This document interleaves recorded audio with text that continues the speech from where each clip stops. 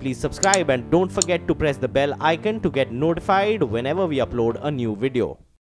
people of the country are rejoicing. I'm looking at the kind of responses which are coming on social media platforms, and it's almost as if that this is freedom part two for India. Narendra Modi wanted us to believe, the Prime Minister wanted us to believe that when the GST bill was implemented and when that became law, it was freedom at midnight once again from what many believe was tax terrorism. Now again, with the Supreme Court ensuring that right to privacy becomes equal to our fundamental right, it is once again freedom like 1947. Karnika Seth is there and our studio guests are here as well. Shahzad Poonawala is uh, with us as well. Karnika, your thoughts? You know, Rajiv Chandrasekhar was there a short while back. Increasingly, I am seeing that people are suggesting that mm -hmm. it would be a mistake for us to look at this judgment only through the eyes of Aadhaar.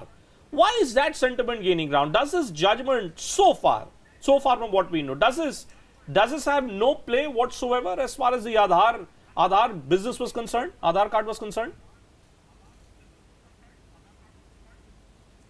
Well, I think uh, it, this judgment is a very, uh, it's a welcome uh, step here because I, I, feel it's a landmark judgment and uh, it is in fact, I will call it as a renaissance uh, of regulation in the field of uh, cyberspace mm. and in fact both offline life and online life of every citizen of the country. And it is something which has enriched the status, the legal status of every citizen of India mm. and brought it as a, on a paradigm shift just akin to European nations or the United States when it pr protects privacy of its citizens in the same manner as uh, any, any developed country would. And I feel that uh, this is um, not only brought ripples to other issues which are connected like the Aadhaar, hmm. but it is going to be uh, enhancing the data protection uh, in the country and the law enforcement of all uh, laws, including mm. cyberspace laws, mm. the IT Act which protects data of citizens, the IT Act which protects privacy of every individual in the country mm. is also going to be enhanced. Not that the law is not there, the law is there, but the enforcement will have a, a radical transformation I feel in the country because privacy will not be taken more seriously. Data of citizens, personal sensitive data will be taken more seriously. Okay, Deepa Rana this is, there. and I feel. Yeah, Deepa, uh, Deepa, Deepa Rana is there. Deep, Deepa Rana is there. I just want to get some citizens' responses as well because increasingly the view gaining ground is that this judgment needs to be looked at through the eyes of data protection. Deepa, all people who are around you and all of us are getting used to this new age digital economy where you are forced to share your details. Do these people who are around you believe that with the Supreme Court judgment, they will have some legal recourse if, if at all there is a breach of the data which they are forced to share either with their banks or any government authority today? Sure, I'm standing at Amity University. I have with me some students uh, these are the students of the law faculty over here and uh, they really believe that data protection is important in this age and time. Uh, I would want to know from you an important decision has come today from the Supreme Court on right to privacy that it is a fundamental right. How do you think this is uh, this will help in protecting your data online? Ma'am, this is really important. For example, talking about the Facebook WhatsApp merger, like a European Union was able to con conceive their data. They were they did not allow Facebook to share. They did not allow WhatsApp to share their data with Facebook because that was under their uh, privacy laws. But in India, we actually allowed WhatsApp to share this their data with Facebook. So with this important decision coming up, that right to privacy is now a fundamental right. Now we can actually protect our data. WhatsApp will not have to share their data with Facebook probably. In the age of digitization, especially, how important is protecting your data and especially right to privacy uh, when, when you talk about digitization and everything? Tell me. Uh, at the outset, I would like to say this is a very welcome judgment because as we, as you already mentioned, we are living in this age of digitalization where almost every transaction happens online. So it becomes even more imperative to have a, a, a data protection law and, and, a right to privacy law, which would give the authorities and the agencies the uh, power it needs to tackle all these uh, stalking and online uh, cases that, that we've been happening, all the data leaks. Also, when we talk about bank accounts and sharing your details, there was also a lot of discussion on Aadhaar. However, it's right now a sub judice matter. Uh, how do you feel about uh, sharing your bank accounts and other details with the government?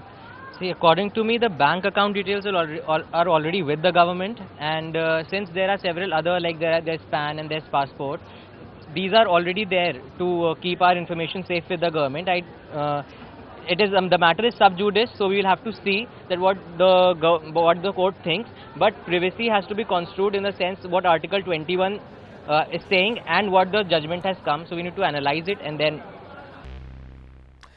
Good afternoon. What a day it's turned out to be. A day where Chief Justice of India has delivered a judgment by a nine judge bench, which is certainly being interpreted as freedom part two for Indian citizens. And what, what a great day to be celebrating the spirit of Indian democracy. It's cacophony, it's chaotic, it's it's sometimes very, very, very noisy, but there are there are pleasures of, of looking at the twists and turns of Indian democracy on days like today that you feel like celebrating the spirit of Indian democracy. And certainly the Supreme Court has come to the fore when it comes to celebrating that spirit of Indian democracy. Historic judgment being delivered by the Supreme Court today. Privacy is now your fundamental right. That right is now equal. It's been qualified as a right to life. So it's a very basic fundamental right which has now been declared by the Supreme Court as a fundamental right.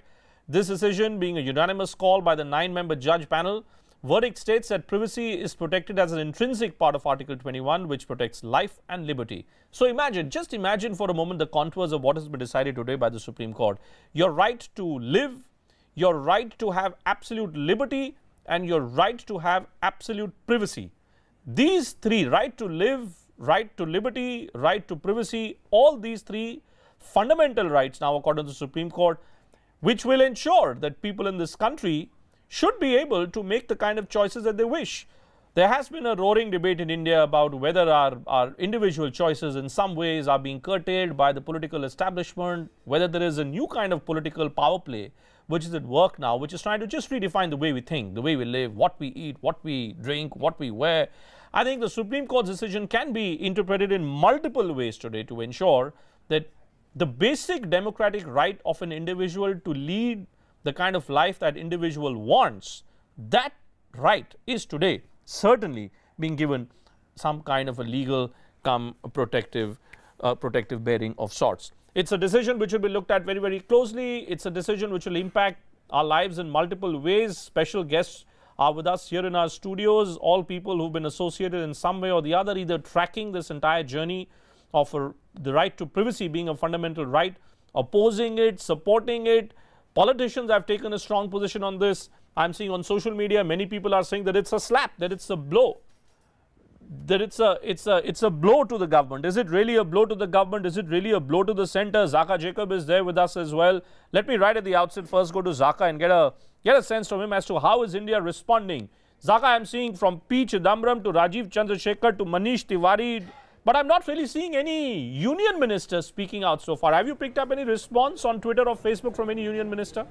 Well, certainly they're keeping a, a, silence. I'm given to understand that within the next hour or so there will be an official press conference. But I think the important thing is this. Today's constitutional bench verdict will affect and will have a huge impact on many other matters that are pending before the Supreme Court. Let's run you through at least five of the big cases that are either pending before the Supreme Court or have been adjudicated upon before, which could be reopened as a consequence of today's judgment. Number one, of course, the decision to introduce Aadhaar and on the sly, some would say, trying to make Aadhaar mandatory for benefits, Aadhaar mandatory for bank accounts. I mean, my three-year-old had to get an Aadhaar for a nursery admission. This will have a direct impact on the five-judge bench that is hearing the Aadhaar matter and whether Aadhaar can be introduced as a, in a mandatory fashion for all 125 crore Indian citizens. What are the other possible cases that this could affect? The, the Section 377 case, of course, is the most infamous one where the Supreme Court uh, struck down the Delhi High Court order and it stayed Section 377 as it were, which criminalizes homosexuality. Now, people like the Naz Foundation, who are original petitioners, can go back to the court and say that what two consenting adults do in the privacy of their home is their business. So could it reopen the Section 377 case? It could affect, it could certainly have a huge bearing on the WhatsApp case, where WhatsApp is sharing your personal information with its parent company today's decision to make privacy a fundamental right will have a huge impact on whether WhatsApp can, uh, uh, can do that. That matter is pending before a two-judge bench. It could also impact the DNA profiling bill, which is pending in Parliament, where bodily rights can be flouted even without consent. Today, right to privacy has been established by the court the right to bodily integrity has been established by the Supreme Court as a fundamental right. And like you rightly said a moment ago, what about private consumption? What I eat within the four walls of my house is my business. Isn't it part of the right to privacy? So it could uh, open up the, the entire beef debate as well. Ah, that's a, that's an important point. It could open up that beef. Could it could it open that beef debate, Avni? You know, look at look at Mamta Banerjee. The West Bengal chief minister comes up with a decision that thou shalt not indulge in immersion of idols beyond a certain point. The Maharashtra government comes up with a decision that on certain days you will not sell certain food products. Isn't that a violation of my basic fundamental rights? Because now I'm trying to look at the touchstone of the right to live. So, right to privacy is equal to my right to live do all these decisions which are taken by the government purely for political reasons, does this not impact my right to live, which is today equal to my right to privacy? Uh, definitely, th that can be an argument that can be made. And in fact, I think not just in the beef controversy, I think that uh, sort of an uh, argument where this is my right to privacy will now come up with several instances in several cases. Mm. But I think what it will also present is unique challenges in each of the facts and circumstances. Mm. So, for example, the government says, you know, you cannot eat beef. Mm. First of all, it has to come up with the legislation to do so. Right. When it does so, it has to show what is the legitimate legitimate aim that the law is serving. Hmm. Secondly, whatever that legitimate aim is, what are the safeguards in place? Hmm. Secondly, there could be issues where there's a question of competing balancing fundamental rights. Hmm. So, for example, if a person says, this is my right to privacy, and another individual says, but this is my freedom of speech and expression, you cannot say anything and everything. How will these uh, balancing of fundamental rights play out is also something that has to be seen. Can I take that question to Subramanian Swamy, Rajya Sabha MP of the Bharatiya Janata Party, who is joining us live, and again, someone who had sent his written submission to the Supreme Court when it came to this question. How do you how do you answer these questions, Dr. Swamy? These the decision which has been which has been given by the Supreme Court today, nine judge bench, unanimous decision read by the Chief Justice. Right to live is equal to right to privacy. So this entire debate about should beef be sold on certain days, what is to be eaten, can immersion of idols like Mamta Banerjee has done yesterday, do, do does this decision in any way impact all these government decisions? Well, uh, good knowledge of the constitution will uh, answer your question. Mm. Uh, it is there in the directive principles that the government shall ban the slaughter of cows. Okay. So, uh, therefore, if the, the, cows are slaughtered here, mm uh, they are not slaughtered here, that's banned, then there is no scope for you to eat uh, cows anyway. No, no. Uh, and you cannot challenge it on privacy. But when when when a decision, I'm saying, sir, when a when a when a government takes a decision, let me let me get you to respond then to Mamta Banerjee's move.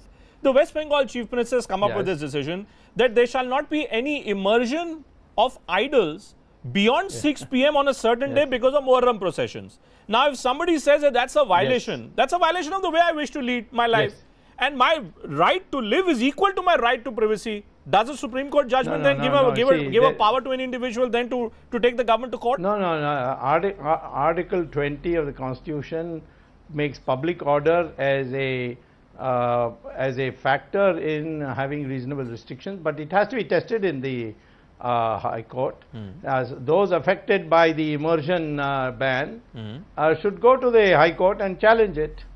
Uh, sometimes the uh, police doesn't give you permission to hold a public meeting. I have gone and challenged it and mm. got the permission. Mm. Uh, so they, they, yes, these have all have to be tested by uh, uh, by individuals, and that will be benefit for the society. Mm. But it is a, tremendous uh, gain for democracy that we have made right to privacy a fundamental right, reversing the 1962 eight-judge bench uh, decision that right to uh, uh, privacy is not fundamental, hmm. which was done during the Congress government period. Can the government, let's say, let me let me let me get you to throw some light on this one, sir. On Twitter and Facebook, people are asking us whether this decision in some way will also impact the right to information. Will it be possible for the government? Can can any body therefore claim if I demand to seek information against an individual, will RTI end up being impacted by this decision of the Supreme Court? No, that's already provision is there. Section 8 and has been upheld. Mm. So therefore, uh, the uh, uh, there is an appeal also to the commissioner. Hmm. So therefore, uh, that's well protected. There will be no change in the RTI. So there will be no change in the RTI as well. Okay, there will be no change in the RTI. What about Aadhaar yes. then? What about Aadhaar? The government wanted Aadhaar the entire citizenry to, to go the Aadhaar way. Now this judgment, does it? What does it do? Does it make Aadhaar infructuous, or Aadhaar is It's a, it's a sub judice matter, I know, but does it impact Aadhaar in any way? It does, but it doesn't make it infructuous. It requires modification. It requires uh, some surgery. And it will also affect GST because GST is dependent on a private company called GSTN, which is uh, owned uh, uh, indirectly by Americans, American shareholders, that is the HDFC and ICICI, who control 51% of the GSTN. Uh, their uh, controlling interests, uh, share interests are with the Americans. Now, all this tax data will be made available to the Americans, so therefore, it will be a violation of our privacy. Uh, uh, if the data that is collected uh, is uh, secure with the government and not subject to cyber uh, attacks, uh, then uh, I, I think there can be made a case that uh, it won't affect privacy. But the present GST and the GSTN and uh, the Aadhaar, they will have to go major undergo major surgery. No, so let me take it one by one because I know that you know you've been you've, you've been at this case for a while that GSTN leads to certain problems and you've been you've been raising this matter in parliament as well. But now that you have a Supreme Court judgment, Yes. Now that you have a Supreme Court judgment and the Yes. country has just been put on the GST trajectory, are you saying this Supreme Court judgment in some way will end up impacting the journey of GST as well? Absolutely, and I'm thankful to the Prime Minister that he accepted my suggestion that uh, the GSTN should be subject to security check by the Home Ministry. And the Home Ministry then has forwarded it to the Finance Ministry of comments. The Finance Ministry has not replied. Now the Finance Ministry's reply and uh, the Supreme Court judgment together will have to be considered by the Home Ministry to see whether all the private parties in GSTN should be expelled and only public sector uh, organizations should be there. So if you expel the private sector, the, the private parties from GSTN, then GSTN will have to undergo a major modification. So then what will happen to the implementation of GST itself? Because GSTN is a backbone of GST. No, there won't be. Yeah, of course it was. There will be a delay, no problem. We have national security is paramount, not delay. But how will this play out, Dr. Swamy? Because you know that's a very, very important point that you're making today. You're saying that the Supreme Court judgment will end up impacting GSTN. Now, just for the benefit of our viewers who may Yes. otherwise be getting confused, let me put it this way: GSTN is the backbone for GST. Dr. Swamy's contention is that GSTN is being controlled by some private parties, including some American investors, including some American banks. Therefore, your data for GST is open to the potential of being misused. Your personal data open to the potential of being misused by these private parties. Therefore, I ask you, Dr. Swamy, will either the government goes to the court and government says that we swear that we we pledge that there is absolutely no way that this data is under any threat. Is that the only way? Is that the only way that GSTN can continue existing in the manner in which it is right now, sir? I hope they don't do it because they'll be laughed out of court. Uh, when you have HDFC and ICICI owned 80% by American shareholders, how can you make this argument? But then why did the government go for it then, sir? I mean, surely the government is aware Well, of this. It doesn't uh, require I- the uh, Supreme Court of the that, country. uh, it doesn't you- require you Supreme know- Court of the country to come up with a judgment for the government to know this, sir. You, you know that you know that unlike journalists, I took extra special interest in it. I even rose in parliament, spoke in it. I am thankful to the Prime Minister that he accommodated me to this extent that he allowed CAG to audit the GSTN as well as uh, he had uh, ordered uh, security check by the Home uh, Home Ministry and that process is on. So maybe the government will correct it and expel this ICICI and HDFC and the NSE and uh, LIC Housing Finance Corporation and have only public sector organizations, then the problem is solved. Okay, let's look at Aadhaar then, sir. The government wants to ensure that the process of filing of personal income tax becomes infructuous if you have not linked your PAN card to your Aadhaar card.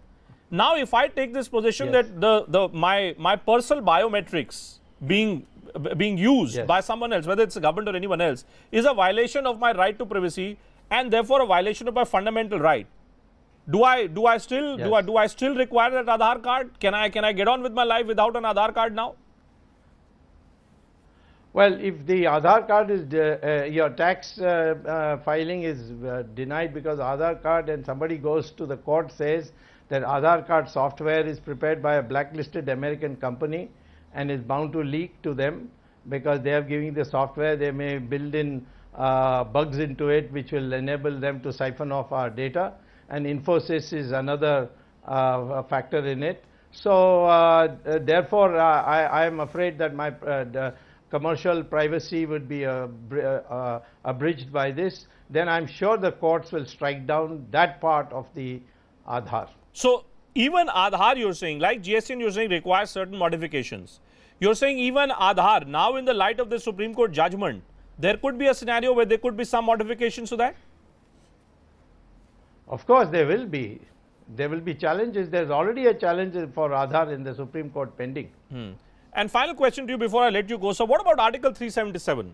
There were, you know, the decision was there. No, no, no, no. That that's a reasonable restriction because that is genetic genetic flaw, which cannot be flaunted. Hmm. If you do in privacy, we can't do anything in the sense in your inside your house. Hmm. But if you go around in uh, and uh, celebrate your marriage or uh, go around parks holding hands and kissing each other, sorry, that is a reasonable restriction will apply and they will all be put in jail. Uh, you know, I have a lawyer here with me, sir. Avni, she just wants a question to, to ask you a question. Avni, you have a question? No, I think, uh, sir, yeah. with all due respect, I think that the Supreme Court is very much open to, you know, if there's a challenge in the court, there's a curative petition file, filed. So I think in light of this judgment, there's definitely a case to say that 377 is violative of right to privacy. Whether it falls under reasonable restrictions or not is, I think, something that the court will have to look into. Mm. It's not something we can assume just by this judgment for sure. The court can look into all the time, but I'm predicting Hmm. The 377 will survive the Supreme Court. Okay, Dr. Swamy likes to predict uh, judgments. That that's his that's his purview. That's that's his preview. But thanks so much. Thanks so much, Dr. Swamy. You've given us two important points. You've given us two important yeah. points that Aadhaar as well as GSTN could well be tweaked because of this judgment which has been given by the Supreme Court. Let me also welcome Tathagat Satpathy, BJD leader who's joining us live. Thanks very much, uh, Mr. Satpathy. How do you look at this judgment, sir, which has been delivered today by the Supreme Court? I am, uh, to say the least, I am overjoyed, hmm. and uh, my faith in institutions has only been further strengthened. I knew our judiciary is uh, uh an exemplary body of uh, justice, hmm. and our judges uh, are amazing. Hmm. So, so to to praise them, I do not have enough words. Hmm. But this is the perfect decision this uh, everybody was waiting for this decision because this would have set the trend for the future of India. It is not just today, tomorrow, one particular government, whether it is the Damodar Das Modi government or the Congress government or something like that. Mm. It's not time bound. This should have decided the fate of Indians for centuries, maybe for decades to come until another judgment would have overturned this. Mm. I'm extremely happy and I thank God. Vive India. You know, I mean, it, it's good. It's it's good that you're saying. You know, the, it's the it's the gov- it's, it's the people of India who certainly need to be thanked, and it's it's the lawyers, it's the legal fraternity. You know, which is uh, which is written, which has risen to the opportunity, which has risen to the challenges, and therefore it is being described as 1947 Part Two. But let me ask you, Tathagaji, in in the context of our basic requirements, citizens' basic day-to-day life, there was Subramanian Swamy who was saying that now there will be some tweakings, there will be some restrictions which will be done for Aadhaar. Do you believe do you believe this entire move which was being made to take the country on the trajectory of Aadhaar, does it get impacted by this judgment of the Supreme Court today? I think Aadhaar will definitely be uh, uh, definitely be checkmated. Aadhaar was a very wrong program, and uh, and I must praise Dr. Swamy uh, although I belong to a different party and I do not see eye to eye with his party. Hmm. But he is an amazing human being. He has fought a lone battle in the Rajya Sabha. And uh, as a very small person, I would say I was the lone voice in the Lok Sabha who fought for privacy, who spoke against Aadhaar. Because during the Congress time, during the UPA time, the Congress, except a few, uh, one or two cabinet ministers, most of them wanted Aadhaar and the Modi government continued that uh, trajectory, as you were saying. Hmm. And both these parties were together on Aadhaar. And uh, uh, people like me were very worried that what will this forebode for the nation in the future? Hmm. And uh, in the Lok Sabha, I saw the Congress also could not oppose Aadhaar. Hmm. And the BJP uh, as a herd, they all supported Aadhaar, which was very uh, sad for uh, for for someone like me. But uh, I hope now political narrative would also change. Aadhaar will have to be curtailed. All those messages that people were getting, threatening messages to the telecom providers that link your Aadhaar or your uh, line would be disconnected. I hope all those will stop and people will have normal lives and there won't be a Snoopy eye, a Snoopy gadget always uh, breathing down my neck, my neck. And uh, I think the whole atmosphere in the country will change with this one single judgment. One single, that, that's a very important point you're making. You're saying the environment in this country, the political ecosystem in this country could change. Let me draw your Yes. attention, sir, to the other contentious point which has been made, which is national security. There has been this feeling that in the garb of protection of national security, the political class slew personal spaces. Is, Right. is, is, is that, do you believe that now with this judgment in place, whether it's a simple thing as such as frisking at the airport, now there are, you know, there were beef detection kits which were created by the Maharashtra government. Who's carrying what in a bag?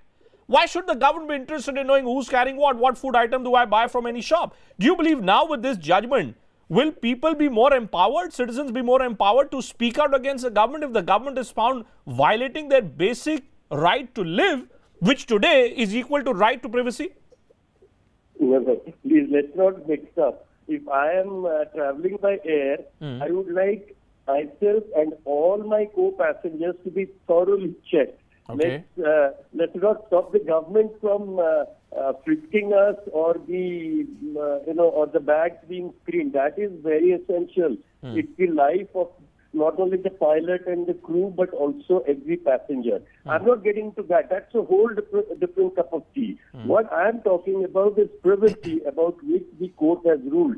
Of course, if I carry a bag into an aircraft, the government, the security agencies have every right to see what is in that bag. Hmm. Let there be no doubt about that. that is a whole different field. But privacy, like you want to know, like you were talking earlier. But I go to the market. No, let me put it this way. sir. I go to the market. You know, as, as have been the cases, I agree with you. At the airport, at the railway station, there is an element of security. But when you're All in the market, places, all public all places. public places. So you say that Yes. it all, you know, uh, the, the, if the government, if the government decides to move around with beef detection kits in a marketplace to find out who's carrying what, will that not be a violation of my, my right to privacy then? No, I think if I'm going to a mall, I'm going to a big shopping uh, mall, or I'm going to a market, a bazaar, uh, and I'm carrying a bag. Uh, I don't think there is anything objectionable if uh, uniform security personnel who are authorized check my belongings. There's nothing wrong with that. Okay. Nothing wrong with that. Final question then to you. Final question then to you, sir. There was a feeling, there was a feeling that unless unless you shared your personal biometrics with the UIADA and unless you had an Aadhaar card, it will be impossible for you to access any government subsidies, any government services. Now, there, imagine the back end beyond of Odisha or the state where I come from in, in Uttar Pradesh, where there may not be that kind of digital di- digital ecosystem, digital connectivity. Do you believe this this decision will now perforce ensure that the government is not just depending on Aadhaar as a delivery mechanism for government subsidies, for government benefits? No, they were not actually ever depending on Aadhaar for delivery. Hmm. Aadhaar was a harassment to people in my constituency. You know, people could not get their fingerprint. Many, we cannot imagine as city dwellers, most of your viewers will not be able to comprehend hmm. what kind of a problem people in the villages have, giving their fingerprints, getting their, if their eyesight is bad, then it's very difficult to scan their irises. Hmm. Getting their fingerprints when they're working people working in the fields, their fingerprints don't come out easy, don't come out the same. My people have been harassed for a few years now, at least two years now. They're all complaining that this government policy is actually destroying their life. Okay. So I do not think that this is an appropriate way for uh, ensuring proper delivery of government goals to the rightful people. Okay. I do not think this is a proper way. This is a pure harassment, and that is what Aadhaar is for me in my mind. I don't care what people talk about metadata and nonsense like that. This is very, very clear that Aadhaar was an instrument of torture. Hmm. So, final, so you, you, you're using very strong words against Aadhaar. You believe that in Parliament, you believe, you believe, Tadhakaji, that in Parliament now you need, do we need to have a fresh debate on the efficacy of Aadhaar itself? Because we've taken such a long distance, so much, I mean, thousands and thousands of crores have been spent in now building the backbone of Aadhaar. Now that there is a Supreme Court judgment and there are representatives like you who believe that Aadhaar is nothing else but harassment, is a parliamentary debate called for in the context of this new judgment? Absolutely. And if you talk about uh, uh, Aadhaar, then you have to find a parallel in the UK Hmm. where they started a similar uh, system and then they realized that how dangerous it is to destroy that system. They had to uh, invest equal amount of money what they had Hmm. done initially to collect the data. Okay. So we might have to do something like that also. All right. Tathagata Satpathy, thanks so much for joining us and sharing with us your views. We're getting a whole cross section of views from Soli Sorabji to Rajeev Chandrasekhar to Subramanian Swamy to Tathagata Satpathy. And I'm glad, and that's why I'm saying that the Indian democracy is sometimes maybe, maybe critiqued. It may be criticized for being very cacophonous, maybe very noisy, boisterous. People say it's ridiculous. But I say that's the beauty because we are in a position in which we can we can capture all these different viewpoints and then come to a proper conclusion. Let me also go to Karnika. mental right. By a unanimous verdict, the Supreme Court has now held that privacy is a fundamental right. Today, what we have seen in the Supreme Court is the evolution of the process of the law. This is a landmark judgment. This is a judgment that sets to rest the unnecessary three years of quibbling. Tremendous gain for democracy that we have made right to privacy a fundamental right.